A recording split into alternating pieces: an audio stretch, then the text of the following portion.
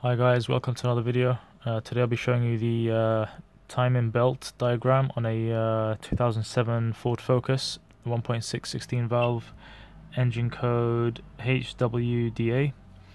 If we just go into that, you'll see what the diagram looks like.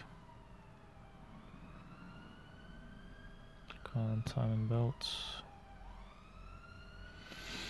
So that's what the diagram looks like there.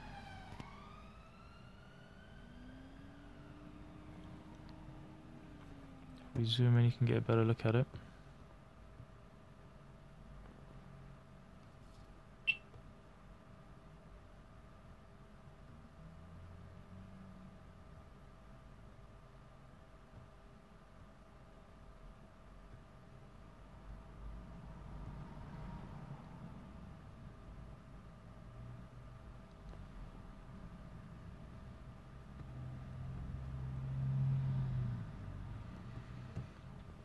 That's what that looks like. If you want any instructions, you can read that just there.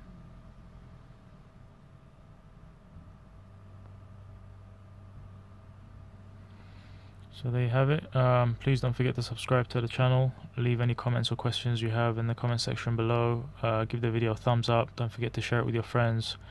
Thank you for watching. I'll see you next time. Bye.